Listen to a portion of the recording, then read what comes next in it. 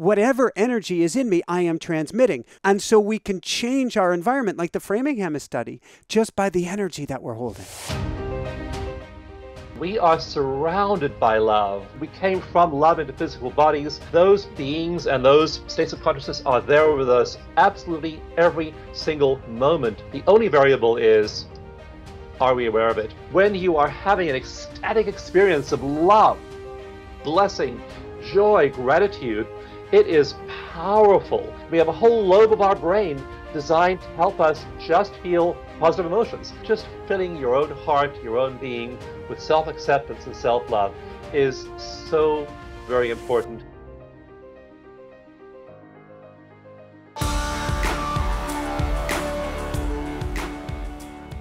Hi, everyone. Welcome back. I'm Michael Sandler, your host on Inspire Nation. If you've ever wanted to communicate with your soul or speak with the other side, then do we have the Tapping into Spirit show for you.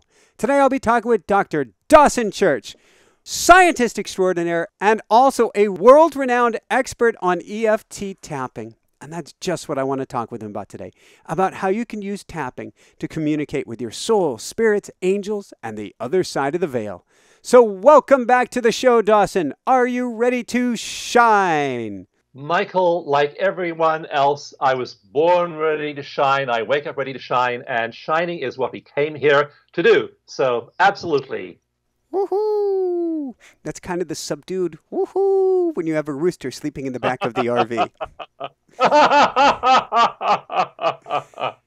you don't have him competing with you while you're doing your show. No, no, he wins 140 plus decibels. He wins every single time, Dawson. And, and have you ever interviewed him, Michael? You know that's a that's a worthwhile endeavor because I've learned he, he's been with us for over a year now. I keep learning new things, and what I've learned here in the Jersey hikes over the last few days is that if I walk past someone and he doesn't get to say hi to them, he will crow. If I say hi to them, he's fine. But he wants to be like a few days ago, he hopped up and he got in front of the camera and he's going like this, wondering if the camera's on. he knows he's the star. so yeah, he has no doubt. And now he needs to convince all the rest of us of the same thing. Oh, there's no convincing. When you see him on camera, and I'll, I'll bring him out. I'll bring him out at the end, and you can say hi to him. You'll understand he is he is like Elvis reincarnate.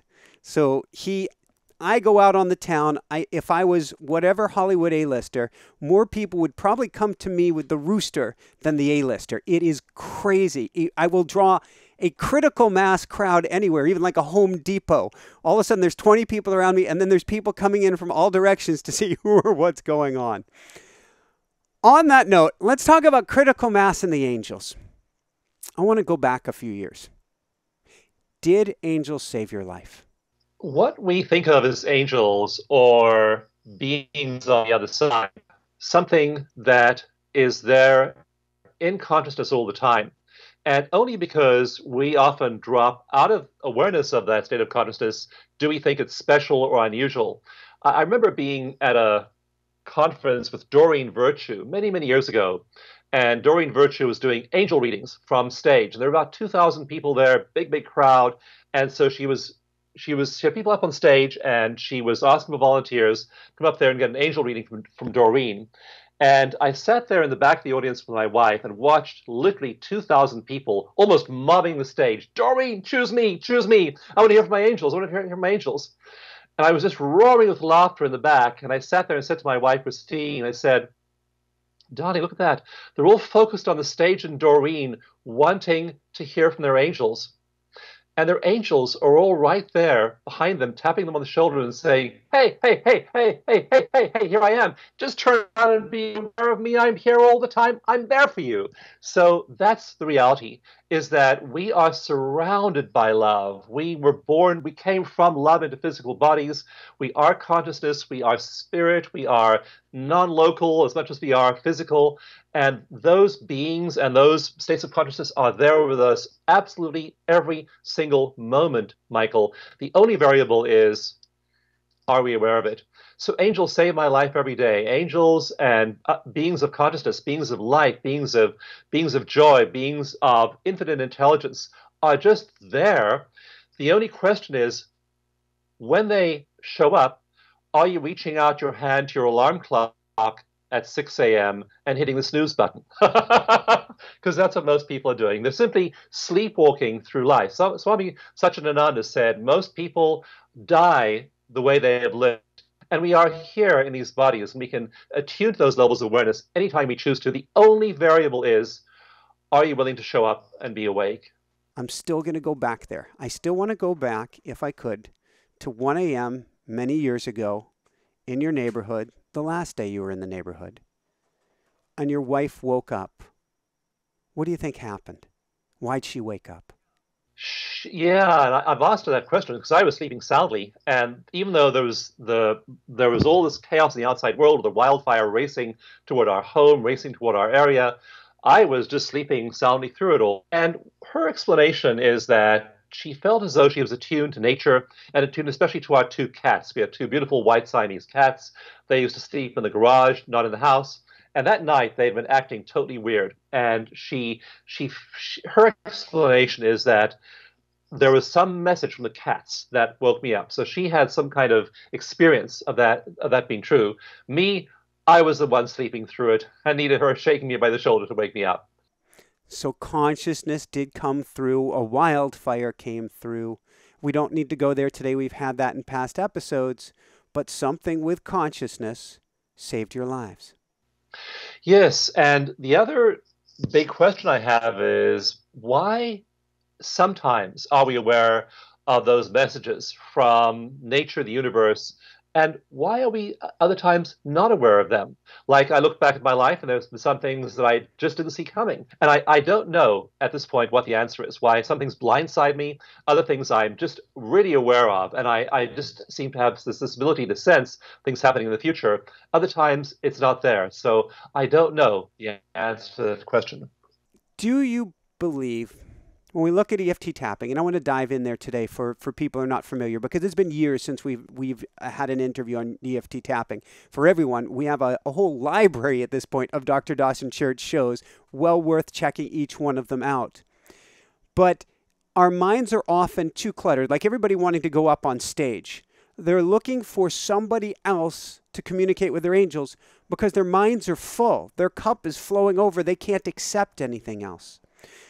Do you feel if we do EFT tapping to kind of dial back the nervous system or get the whirling mind to slow down a little bit, that helps us plug into consciousness or the other side of the veil?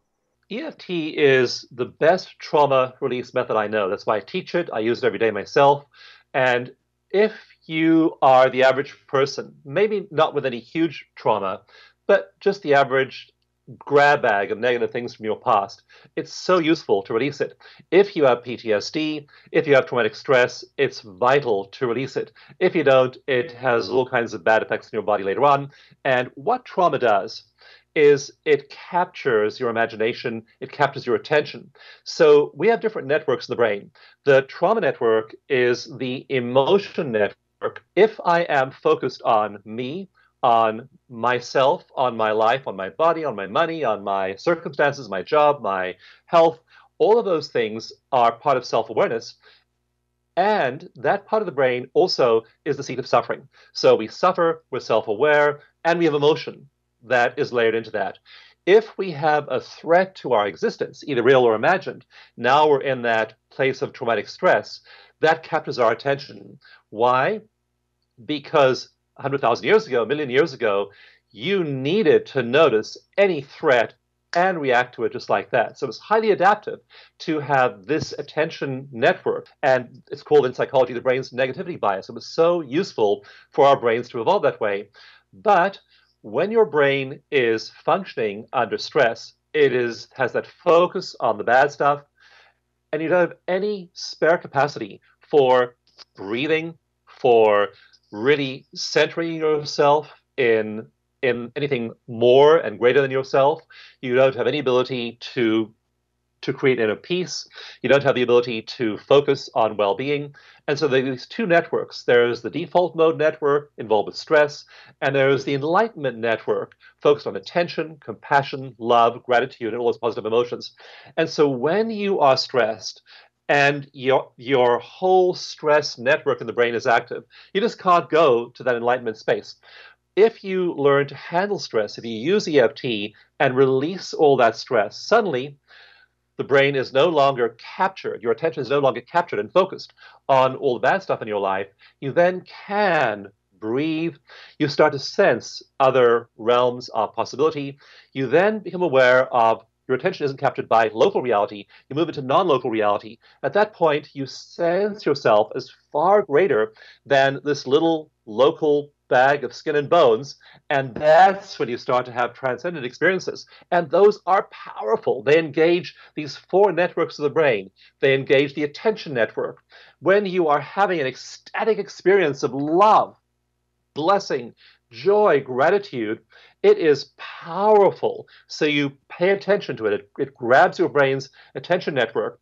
It also shuts down that default mode network, the suffering self. And when we hook mystics up to EEGs and MRIs, we see that part of the brain shut down in just a moment when people are entering that stage of compassion. It lights up the compassion network. We have a whole lobe of our brain designed to help us just feel positive emotions. So, gratitude, love, joy, humor, wisdom, compassion, all of these things, those are handled by a part of the brain called the insula. That part of the brain is highly active in that kind of a state. So, there we are having all these wonderful feelings, and then we connect with that source of all it is, something higher than ourselves, and we get to live in that space too. So that if if we tap, when we tap and release trauma, that frees up our brain to function on that higher level. We then connect with all of those those realms of reality, and then that becomes more and more where we stay and who we are.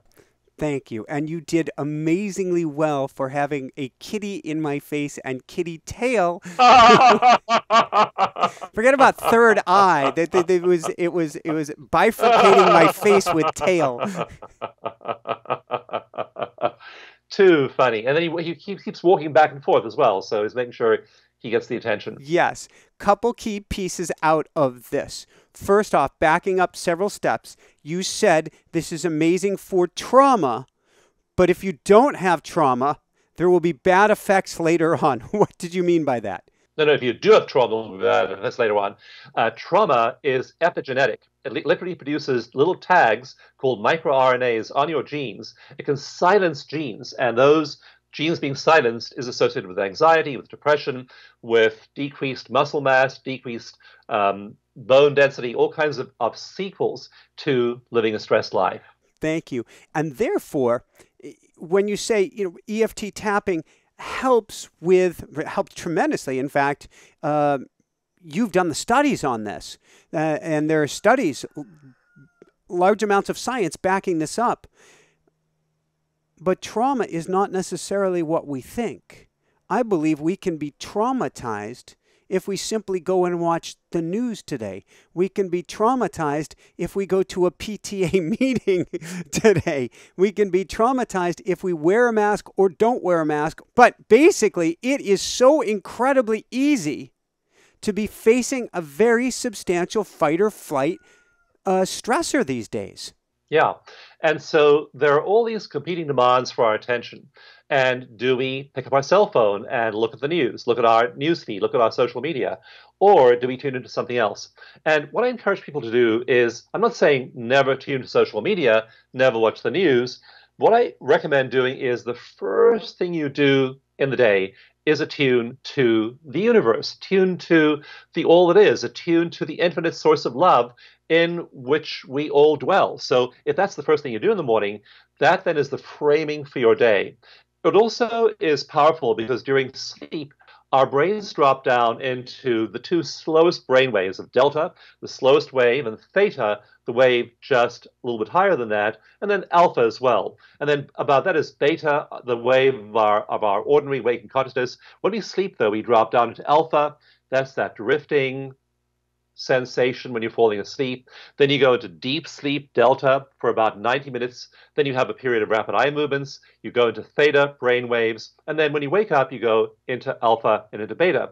And if you wake up in the morning, and the first thing you do in the morning is you pick up your cell phone and you look at the news, you're going to then orient your attention to the bad stuff in the world, at least the neutral stuff in the world, and not to the most positive possible highest vibration. But if your brain, while it's still in that delta theta semi sleep state, if you then tune into the universe, if you then meditate and turn your attention to the all that is, an ecstatic state that is available to us in every every moment. If you are breathing consciously, if you're mindful, now suddenly your attention, you've taken this this precious facility we have of attention and you've turned it to the infinite, to love and joy and gratitude and compassion. You fill your mind, you fill your heart, fill your body with that first thing in the morning. That then frames your whole day. Later on, you can look at the news. Later on, you can look at social media. You can go do those things. You aren't we aren't called or required to go and live in a monastery and detach ourselves from the world totally. We can be completely immersed in everyday reality, changing diapers, making a living, driving a bus, whatever it is we do. So we can do everyday local stuff, but we do it then from the perspective of being one with the all that is. And that changes everything. In the studies I have in my new book, Bliss Brain, I have research there showing that if you do this, if you attune to that level of reality, people become up to five times more able to solve complicated problems in their daily lives. In a set of Harvard studies, the research showed that if they do that for an hour in the morning, they get 48 hours of increased productivity. You're much better at your job. Your creativity, your ability to handle things creatively, more than doubles. So now if you have framed your whole local life in terms of non local reality, if you've tuned into the angels, your guides, and tuned into spirit, whatever terminology you use, if you tune into that and then come down to local reality, you're just much better at local reality. So you're a better investor, you're a better father or mother, you're a better partner, a better spouse, a better employee, a better employer, a better parent, a better child. All of those things are improved by that act of first first thing in the morning attuning to the all that is so that's the way to do it attune to there direct your attention there first thing and then you go and deal with local reality thank you and to me what you're doing with that that term attunement is is you are not only getting in sync in vibrational alignment we can call it harmony with the all that is but now you've got the all that is on speed dial because the connection's already been made. And if you talk to people, yeah, who, are doing this, it's just remarkable. They'll have ideas, they'll have thoughts. Albert Einstein said that all great scientific discoveries and breakthroughs are made in that kind of a state. So Napoleon Hill, who wrote Think and Grow Rich, said, You just can't solve your problems at the level of local reality. You have to move, and he called it his invisible council. He would take problems into his invisible council, and he'd say, "Okay, my invisible council, I'm summoning here Saint Teresa, I'm summoning Saint Francis, I'm summoning Jesus and Muhammad, and Thomas Edison is on my invisible council, Abraham Lincoln and George Washington." So he had this invisible council of beings that he would go and talk to, and he'd come back from that altered consciousness with remarkable solutions to local problems. But he said you can't figure them out at that local level. That's why we wrote Awe, the Automatic Writing Experience. The book hiding behind my left shoulder here is to help people get in touch with their invisible counsel. But I'm going to bring it back full circle and then let's talk tapping here.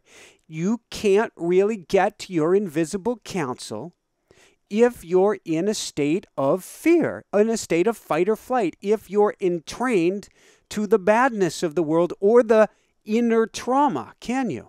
You're trying to solve problems at that level, and they just can't be solved at that level. So if your attention is captured by that level, then your whole neuro- neurology, your whole biology is engaged at that level, and any chance of a transcendent experience is is minimal.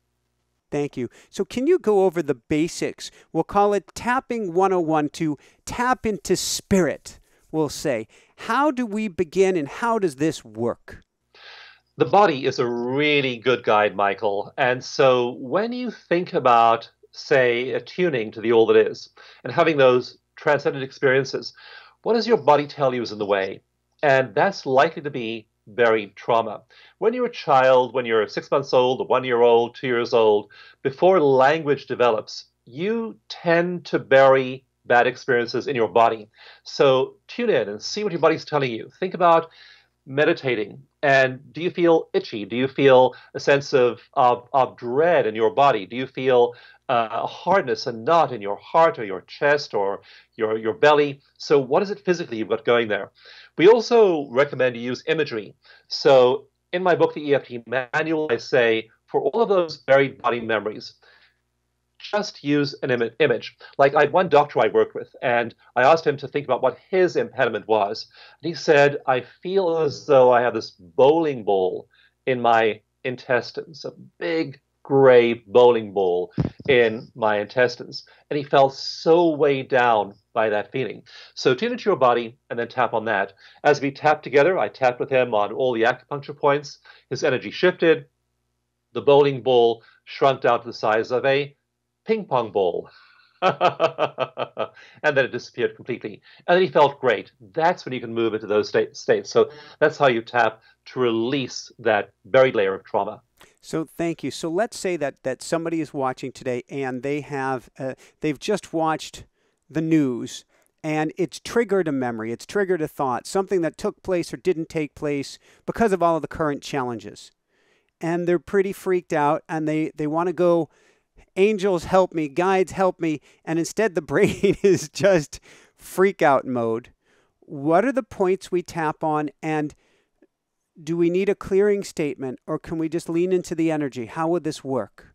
Well, paradoxically, with EFT, you tap on the bad stuff you don't tap on the good stuff. You focus on the bad stuff.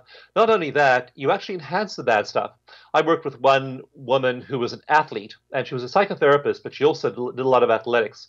But she'd had persistent pain in her rotator cuff for, for several years, and it was always there. It, it fluctuated. Some days it was a three or a four out of 10 in intensity. Other days it was a seven or eight in intensity, but it was always at that, that same level. And so we not only focused on the pain in her rotator cuff and all the feelings she had about injuring her shoulder as well, we focused on the emotions, we focused on the physical sensations. We try to make it worse. So we try to capture that maximum sensation. We try to feel it at that seven or eight level. And so we use the imagery like, okay, the pain's getting worse. I will always have that pain. Now, that might seem crazy to affirm. You're affirming I'll always have the pain. You're affirming the pain is going to get worse. Why on earth would you say negative statements? We're taught to have positive affirmations, a positive worldview, to let things go, move to the positive.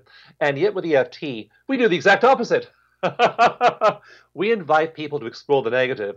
And we do that because we live in a world in which we've been trained and encouraged since children to move to the positive.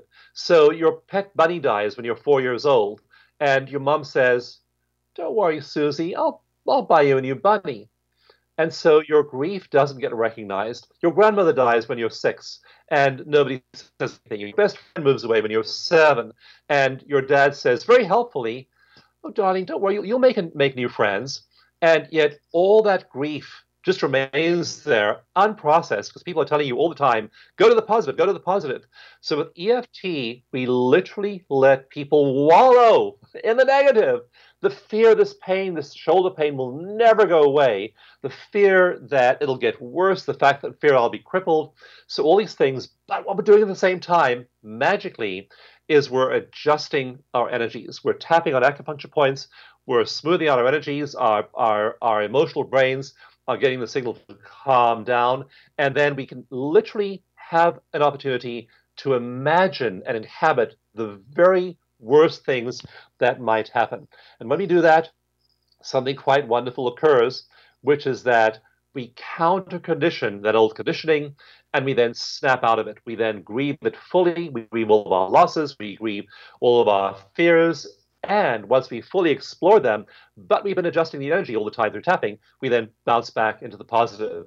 So that's the paradox. We actually deep, d- dig deep into the negative, and then spontaneously, once we've cleared this pool of trauma below the surface of consciousness or in consciousness, we then naturally bounce, bounce back into those higher energies.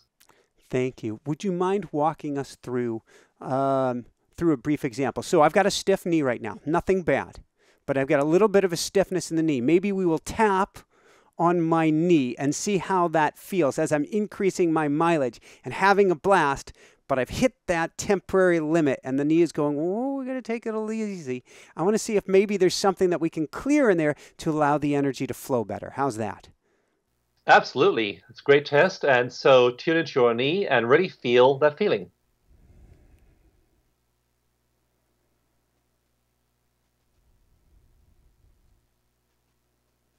Now, you see, just doing that, Michael, that's mindfulness. Normally, we have a pain, yeah. we want to take a painkiller, make it go away.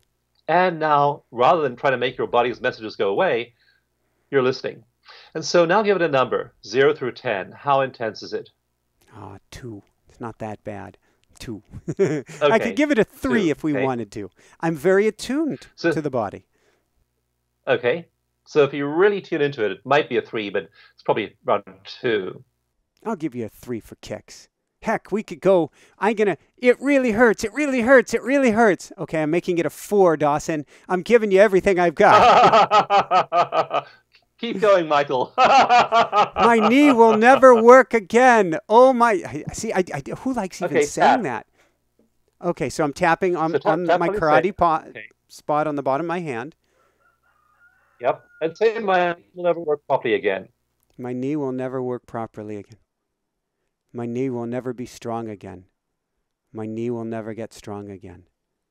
My knee will never get strong again. My knee will never get strong again. It might get weaker. Ooh, my knee is going to get weaker. my knee is definitely going to get weaker. My knee is definitely going to get weaker. My knee is definitely get weaker. Good. It'll become so weak I'll probably need a need a knee replacement surgery. It'll become so weak they'll call me Hoppy. It'll become so weak they'll call me they'll call me Hoppy. When I'm in the water, they'll call me Bob. and I've seen people whose conditions have got worse over time. It will get so worse I won't be able to use it. It will get so bad I won't be able to use it. It will get so bad I won't be able to use it. It will get. Why am I laughing, Dawson? Okay, now tap on your governing meridian, top of the head over here. Okay. It'll get so bad I won't be able to use it. It'll get so bad I won't be able to use it. It'll get so bad I won't be able to use it. It'll get so now bad. Now think, Michael, about people in your family who've degenerated with age. There are people who've just got their physical conditions get worse over age, as they age. Just think about those people. So I've seen people in my own family who get worse as they age.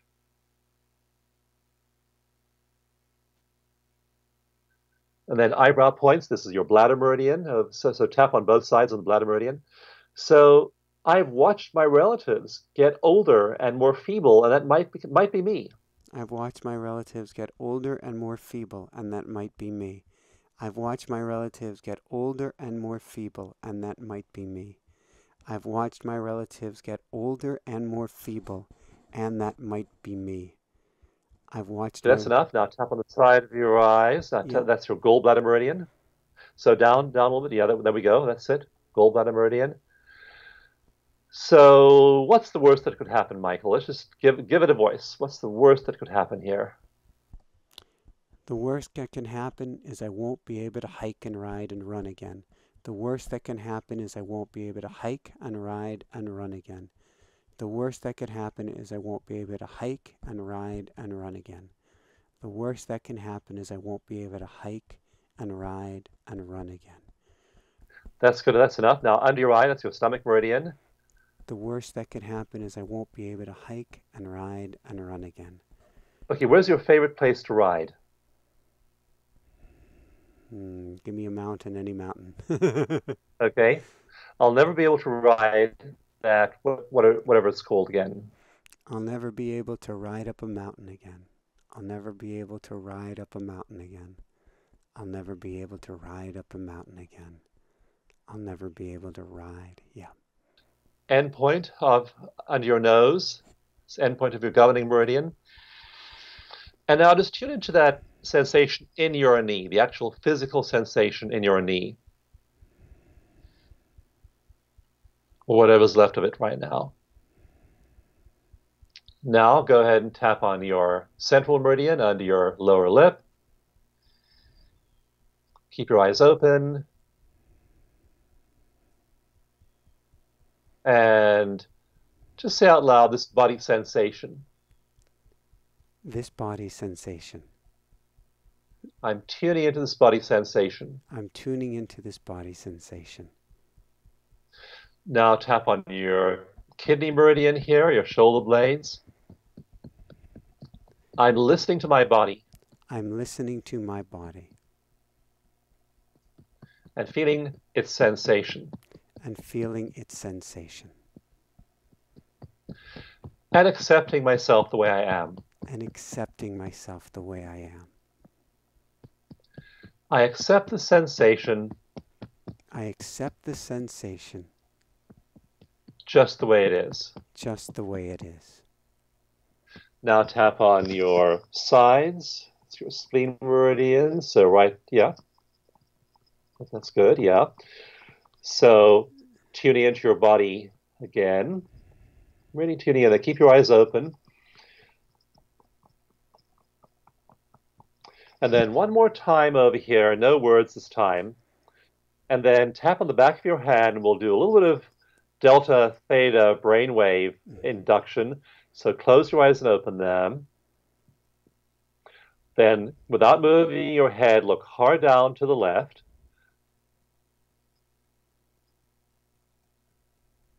Okay, let your eyes go back to neutral again. Now, hard down to the right. So if you're watching the face of a giant clock, you'd be looking at 5 o'clock right now. Now just look at 3 o'clock without moving your head. Look at 2, look at 1. Imagine looking at 12. So head centered, that your eyes all the way up to the ceiling. You're looking at 12 on this giant clock. Now look at 11, look at 10, look at 9. Now back to 10, 11, 12, 1, 2, 3, 4, 5, 6, 7, 8, 9. Hold it at 9 for a moment. Feel your breathing. Notice your knee. Then back to 8, 7, 6, 5, 4, 3. Hold it at 3, another breath. Then 2, 1, 12, and relax and stop tapping. And now, what number is your knee Probably this very one. moment? A one. A one. Okay.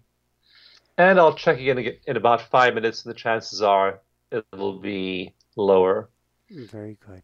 So that's what you do. Just tune into your body, accept its messages, do some tapping, do some catastrophizing, really feel all those possible negative outcomes. And know, we all have seen people who just decay and die and get worse over time. So um, it is a fear that most of us have at some level, and it's worth addressing those fears and letting them go through tapping. What were we doing with the clock? That is called the nine gamut procedure, and it was developed in the 1980s by a clinical psychologist called Roger Callahan. And what it does is it generates theta and delta slow brain waves in the brain, a lot like we do when we sleep, dream, and then we are able to move through our problems symbolically in dreams. So we generate those brain waves, and then we recruit the brain's way of reformatting information and removing our sense of it being a problem using the same kinds of brain waves we have during deep sleep. And does it put you in a more so I here's the layman's terms of what tapping is doing to me. It's shorting out a negative loop inside of you. What is this technique doing? This technique is engaging our learning system that we use during dreams. Usually in a dream, we have a problem we try to solve in our, our waking life symbolically. So the dream is a symbolic way of solving a, an actual problem we have in our waking life. And so we'll try one dream scenario, and maybe it works out and we feel a sense of release and resolution. Or if we don't, we'll have another dream where we'll try and work out that same problem symbolically. And this happens during theta sleep, rapid eye movement sleep. It's called rapid eye movement sleep because even though our eyes are closed, our eyes are moving around rapidly during those brief periods in, in, in our sleep cycle when we're in theta brainwave sleep. Most of the night we're in delta brainwave sleep. Our brain's doing a lot of pruning of unused neural pathways. During theta, it is building new neural connections. So we're using, we're, we're putting the brain deliberately into theta and delta with the eye movements. Fantastic. So we're talking today about tapping into spirit, communicating more with angels, guides, all that is, whatever we want to call it. We get up in the morning, we go to a place of attunement, we go to a place of love, or whatever we want to call it. We start to get into vibratory alignment. How can then doing, for instance, a round of tapping help us to be able to communicate with spirit throughout the day? So, when we wake up, typically our attention goes to all of our problems, all of our challenges, what's going to happen in that day, our schedule, the the, uh, the people we'll meet, all the future events of that day. And that's very natural for your mind to go there. So you want to interrupt that pattern and use that precious time when your brain is still having a lot of delta and theta waves, a little bit of alpha, very small amount of beta. Use that time to refocus your attention. So you tap during that initial time to release everything else. I personally tap on releasing the person I was yesterday. I want to be the person I am today. I want to be fresh in every moment. I'm tapping to release everything else. I'm actually doing the nine gamut eye movements as well. Did you have this laugh before you started tapping? No, I didn't, Michael. I, I, was married to somebody who actually was pretty uh, critical of me and didn't like my laughter. So I, to avoid triggering her, I didn't laugh. So I let go of a lot of trauma and, and then just let myself, my, my spirit be. I consider it, Dawson, the Buddha laugh. You have the Buddha laugh. And I think the Buddha one of the reasons that the Buddha was the Buddha is he didn't have those obscurations. He didn't have those layers of wounding, or he could at least see them and not be them. And that's what you've been doing, hasn't it? You've been peeling away these layer of wounds to reveal what was already there, always there. There are, two, there are two things we have to do as adults in life. So during our childhood, adverse things happen. We inherit conditioning, we inherit all of the wisdom of our tribe, some of it functional, some of it dysfunctional. But we have to tap away and release our wounding. When we do that, though, Michael, our potential comes into play. We're no longer being sabotaged by our trauma, by our wounding. We then can move into our full potential. And that typically will mean a lot of changes. People's bodies will change, their health will change, their careers often change. When I began, when I learned tapping and began to meditate every day, I was 45 years old. I'd been in book publishing my whole life. Publishing was all I knew. I knew how to publish books, and I was really good at that profession. But I'd been in there my whole 20 year career, and within a few months, I was doing something quite different. So your career will change, your relationships will change, your body will change, all kinds of things shift. But that's moving into those levels of potential. And most people never do that. They're so captured by their trauma, they never move there. So one of the the seductions of the of the spiritual path is, oh, like I used to be a member of a spiritual community when I was a teenager, and the teaching was, well, you know, we have all this this this rubbish at the level of the ego and the level of the local self, we just go meditate, do energy work, and we transcend all of that. And the research shows really clearly it doesn't work. If you try and transcend all of the trauma you have in your life, it becomes the shadow, it becomes the dark side. And that's where there's so much abuse, there's so much dysfunction in these spiritual communities. It's the it's the unhealed dark side. So you have to come to a neutral point. You have to go heal that trauma that then liberates your potential, and then you're going to find your body changes, your diet changes, your sense of connection with other people changes, your marriage is probably, probably going to change, your relationship with your children, your parents, everything will start to shift once that that magic who you are is is is born through you. And you know, as a kid, you were that being, you were this glorious dancing angel of spirit just coming into a body and then stuff happened.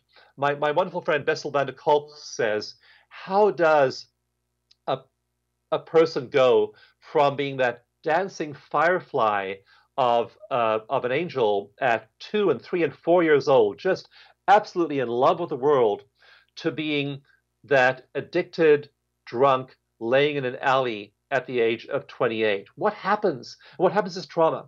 And so we have to heal that trauma. And when we do, then that angel comes back again. We all know we were meant to live these full, glorious lives.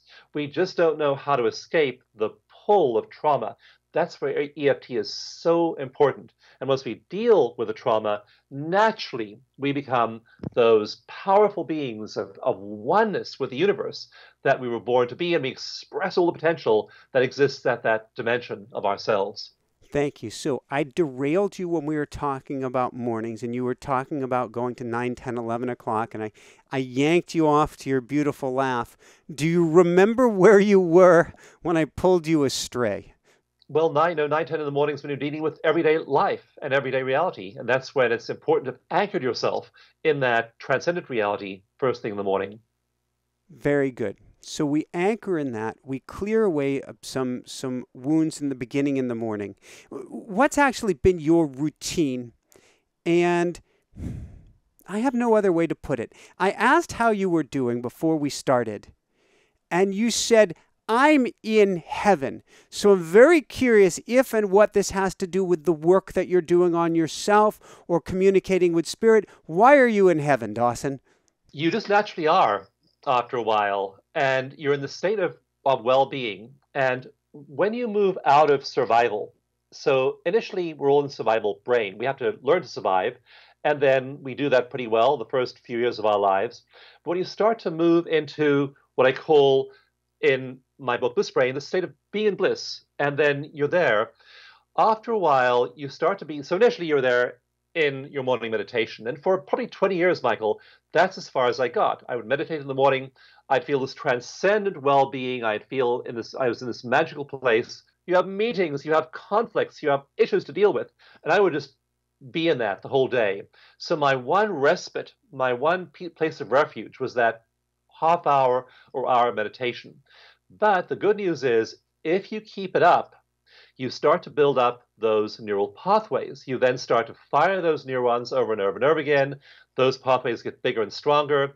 And then the effects start to bleed through into your everyday world. And that's where the work of Teresa Amabile at Harvard comes in. She did this brilliant series of experiments which showed that if you get there for an hour, that your brain's state is changed for 48 hours. You get 47 hours of increased flow from going consciously into flow for one hour. So now you're more creative, you're more productive, your, your problem solving ability increases as a result of that one hour. But then it was feeling better throughout the day. Then it was spontaneous bliss throughout the day. Then it was like I used to listen to the, the news. I'd have, have National Public Radio on usually around three or four o'clock in the afternoon, listen to the news. I, would be in my car often driving somewhere. So I began to just I began to just turn off the news, turn off, off the radio, and just have a moment's meditation first. And then it was half hour's meditation. Then it was my whole commute was meditation. And then suddenly I'd be in line at a store and I'd be in bliss spontaneously. I'd be in, in heaven. I, I'd, I'd sit I'd, I'd stand in front of the clerk. In fact, yesterday I was buying some groceries and I, I stood there and I just could see angel wings behind the, the lady who was serving me. And so then you relate to her as this angelic being who's utterly precious, who's a child of the universe, and you don't even know her name. And yet you're standing there smiling at her behind your mask. In fact, I said to her, I'm smiling behind this mask. And you just have this sense of that being the reality of all the people around you. And so suddenly now you're in a, a world full of angels. Pick the person who pisses you off. Pick the person who triggers you the most. Imagine them as an angel. For me, right now, the person, I'm getting a little bit tear, teary as I say this, Michael. There's a guy called Clay Higgins, and you, maybe you've read about him or heard about him on the news, but he's the, the congressman from, from Louisiana who talked about shooting Black Lives Matter protesters last year. And I have a really hard time imagining Clay Higgins as an angel. So that means Clay Higgins is my spiritual teacher. I need to sit there in meditation. I need to love Clay Higgins unconditionally. And, and I just, that is hard for me to do. so guess what? That's my next challenge is to hold Clay Higgins as a perfect child of the universe. And so we begin to have this then move into our everyday life, especially in the places where there are the most conflict and the most the most discord, where we have the hardest time doing it. Bring your love, bring your compassion to the person who most annoys you, who most triggers you. So whether it's Donald Trump, whether it's Clay Higgins, whether it's Joe Biden, whether it's Hillary Clinton, whether it's the head of Facebook or Google or some other company that triggers you, just hold that person in absolute love. Because guess what? That's the perspective of the universe. The universe holds you and me in love. The universe holds everyone in love. When you see the person that way, you're seeing them as the universe sees them. You're seeing them as they really are. And that's the way your whole perspective on life and the world changes. Thank you. And then that is a mighty woohoo, again, subdued for the rooster. I wanted to go to how you're meditating while, while you're driving, and we might double back around. I know people are going to be asking about that. But with that said, what you're talking about now, without realizing it, though I'm sure you are, is going from the me to the we. Because if we get a critical mass of people who are holding a, uh, um, what was his, the gentleman's name, Clay Higgins again? Uh, Clay Higgins. Clay Higgins are holding a baby Clay Higgins in our arms and loving up Clay Higgins like the divine being that he is.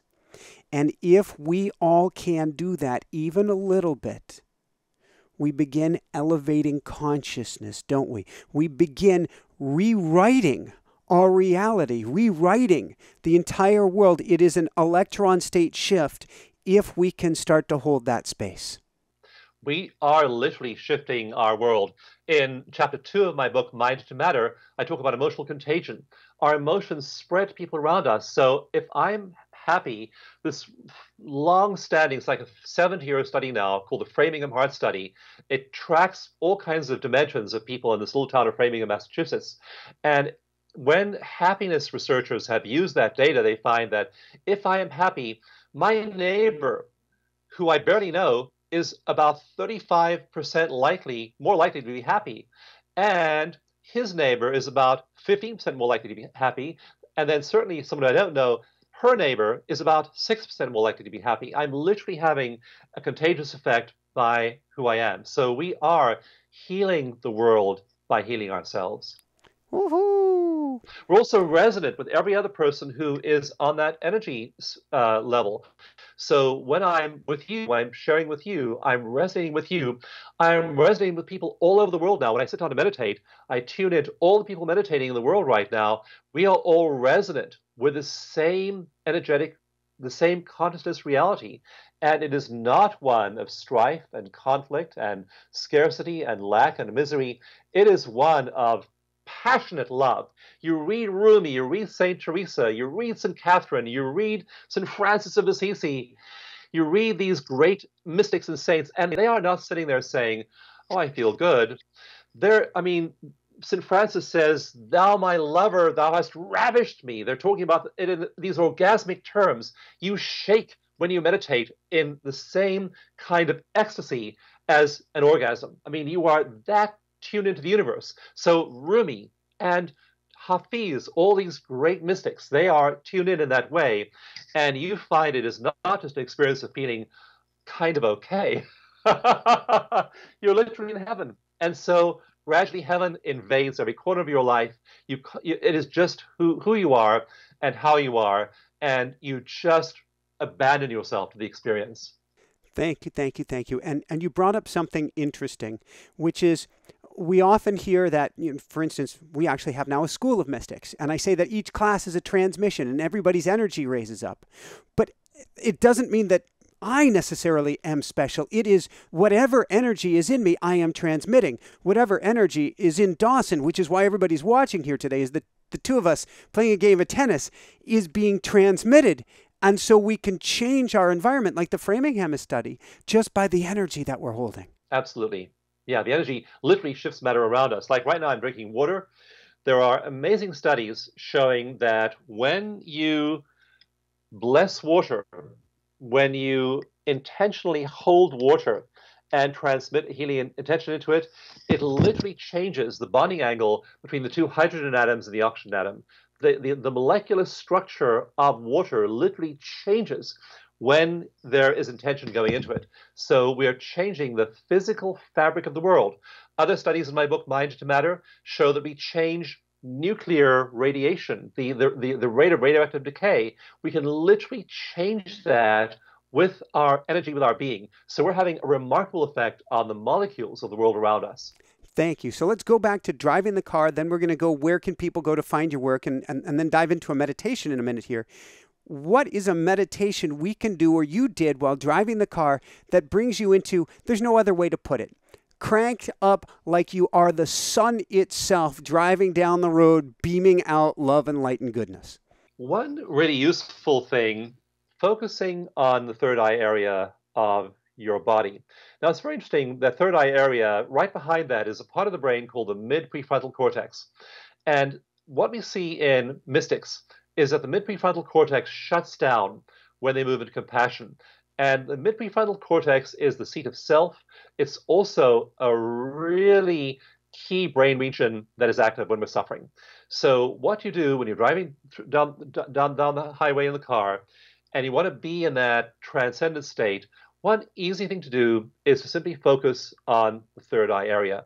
The chances are, if you do that and you've been meditating, you will start to dial down the activity of the mid prefrontal cortex. You'll feel more peaceful. Something else you can do is breathe consciously and slowly while you do that. Now, these are physical things. If you breathe consciously and slowly, you're sending a signal to your body and you dial up the activity of your parasympathetic nervous system, your anti-stress, your relaxation system. So breathing slowly and mindfully will do that. And so those two things, just those two things alone, nothing else, focusing on the third eye area and then breathing mindfully as you drive. You're still totally alert. In fact, you'll become more alert as you do this. You want to drift off into some imaginary state where you could, where you could lose track of reality. So now you're in that space, you're centered.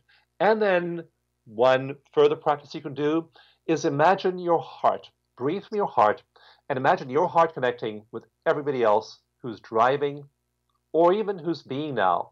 One thing I have people do in my my little routine called EcoMeditation is imagine your heart like uh, the sun and having rays and simply radiating its rays to of compassion, of gratitude, of connection to every single atom in the universe. You simply sit there, breathe, feel your heart, be conscious, be in your third eye, radiate out, and then suddenly you're connected with every single atom in the universe.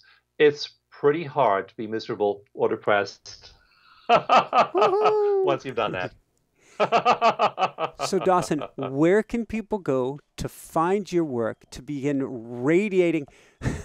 It'd be too much to say. You will get your own Dawson laugh, but maybe if they come to the, your website, they will get their own Dawson laugh. Where do you want to send people, Dawson? Two places. To get the book Bliss Brain, go to blissbrain.com, and then also at that site you'll get eight free meditations. And I want you to just to use those. They're only 50 minutes long but we've shown in MRI trials that they literally start to shift the way your brain functions within 30 days. So really quickly, they'll start to reformat the way your brain functions. And that's at blissbrain.com.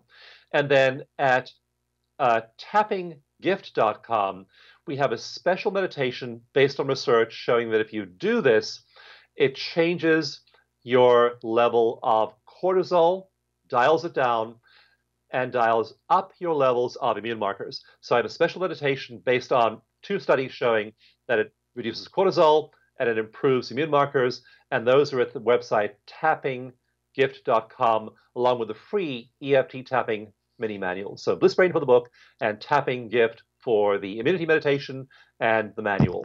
Beautiful, beautiful, beautiful. Any last words of wisdom, Dawson, before we dive into a meditation? Love yourself as you are and accept yourself just the way you are. So, just filling your own heart, your own being with self acceptance and self love is so very important. And the way to operationalize that is to tap. And then, if you don't have a meditation practice, I've given you plenty of tools here today. Just start immediately. Just download those free free meditations, and then just start doing it. I know the day I began meditation was 2000, the year I began doing meditation every day. It just changed my life quickly. So make a commitment to that daily morning meditation. How often are you connecting with spirit? It's hard to disconnect after a while. It just you're living life. You're just floating along in this magical life of connection.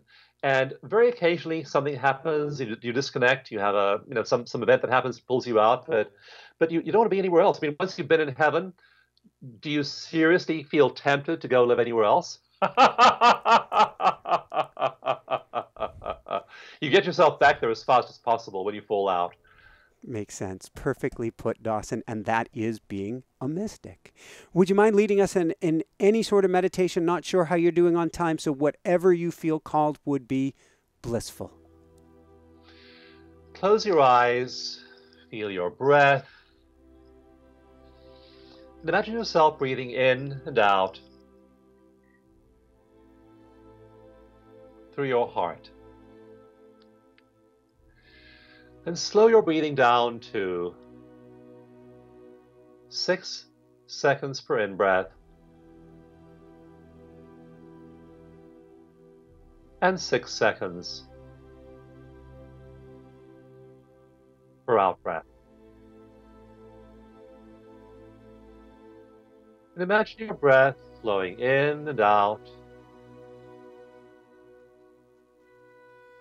through your heart.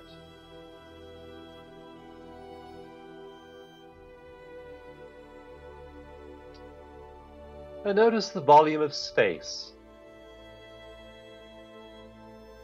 inside your feet, inside your hands, and inside your whole body.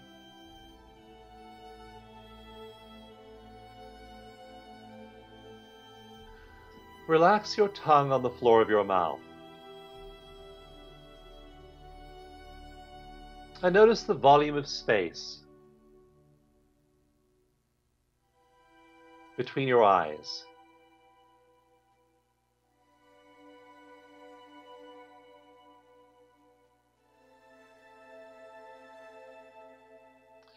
Notice the breath flowing in and out.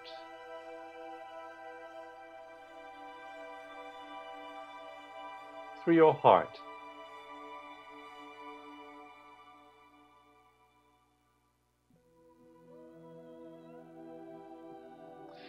Now think of someone, so some being, it could be a guide, an angel, teacher, a mentor, a being that loves you unconditionally.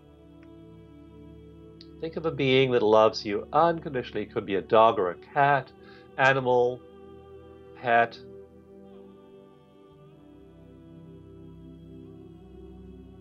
And feel your heart energy connect with this being of unconditional love.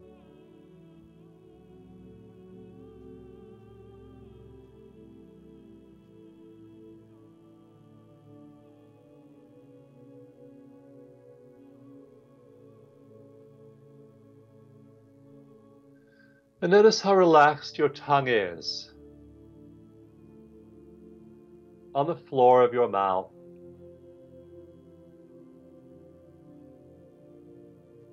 Notice the infinite space between your eyes.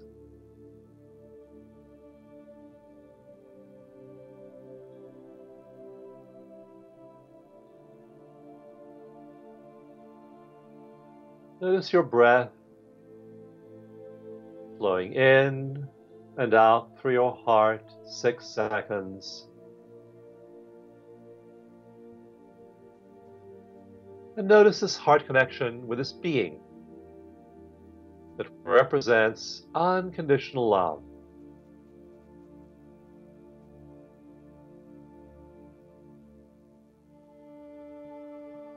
And a beam of connection flowing out from your heart to this being of unconditional love.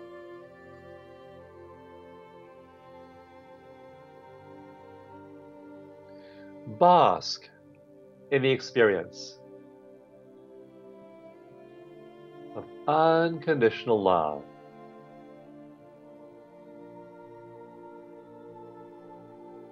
Tongue relaxed on the floor of your mouth. Infinite space between your eyes. Six second in breaths and out breaths through your heart.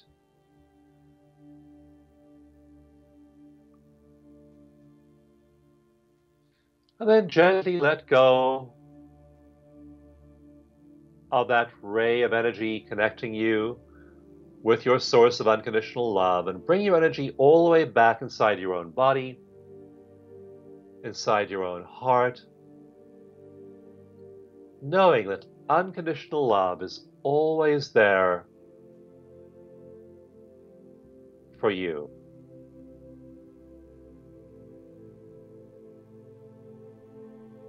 Feel the volume of space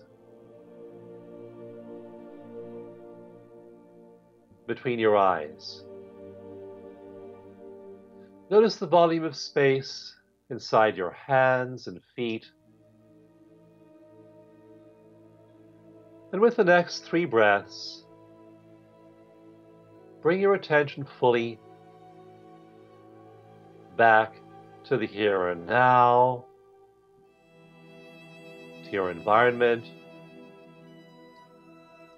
and noticing the volume of space inside your feet, ground yourself into our precious Mother Earth.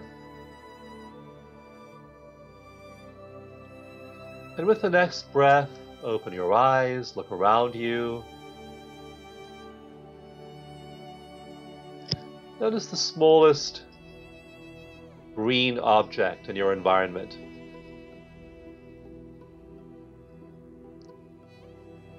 Notice anything with the letter Y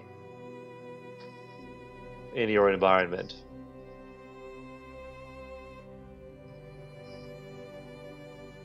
Notice how grounded you are through your feet into the earth. And bring yourself fully back into the here and now, feeling that wonderful feeling in your body realizing that we can connect to unconditional love anytime, we can be in oneness anytime with the infinite universe, and then bring that back into our local experience, our local reality, anytime we choose.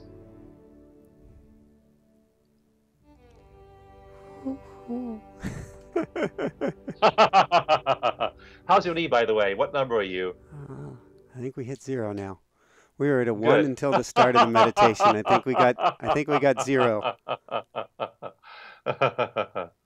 yeah. So, Tapping the meditation or a winning combination. Couldn't put it better myself. This has been I gotta crank it back up. I'm so jelloed out, Dawson. Phenomenal, my brother. Phenomenal. That's that's all I can say. Phenomenal.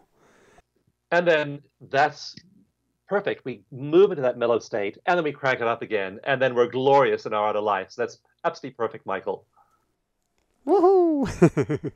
I'm going to go do a blissful swim in about a half an hour, half an hour to an hour on the lake.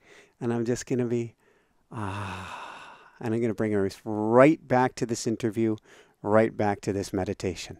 It'll be the bliss swim. Mm. I recommend one every day. Excellent. So, for everyone out there, this is Michael Sandler saying, Be well, have fun, get the bliss brain, and begin diving into that unconditional love today. And above and beyond all else, shine bright. Woohoo! Oh my God. All my love, my brother. All my love, all my love, all my life. I don't know about you, but I don't know how to end today's show because I've been so bliss brained by Dr. Dawson Church, telling us how we can, sharing with us how we can tap into spirit, how we can tap into source, how we can tap into the angels, or tap into heaven. That's really what this is about today how to tap into heaven. How does it get any better than this? Well, Pick up Awe, the automatic writing experience, or better yet, come on over to automaticwriting.com where we'll teach you with a video based program plus live classes how you can begin communicating with Spirit, how you can begin communicating with your angels and guides on a daily basis, just as Dawson Church was talking about, about having our invisible counsel. You'll learn through automatic writing how to tap into your invisible counsel as well. You can get it at automaticwriting.com, get the whole video based program. It's also now out on Audible, the audiobook, so you can get that through Amazon and Audible as well. That's Awe, the automatic writing experience. We're a podcast too. In case you didn't catch that, when you're driving down the road, you can be listening to us. When you're going for your favorite run or hike or whatever it is, when you ingest your podcast, you can be listening to us. You can find us on iTunes and every single way, Spotify, every single place you can get a podcast, you can find the Inspire Nation show. Just favorite it and you'll be able to follow all of our shows. On that note, we have live events every Sunday night on YouTube where you can ask your question, where you can learn how to become a modern mystic. And you can check those out by hitting the subscribe button below and the bell icon to be notified of our next show and our live events. Of course, we also have the School of Mystics every Wednesday evening. You can find that at inspirenationuniversity.com. And here's the link to the next amazing video. Love you guys so, so much. Big thumbs up. Leave your comments if you like this. Shine bright. Woohoo! Love you guys.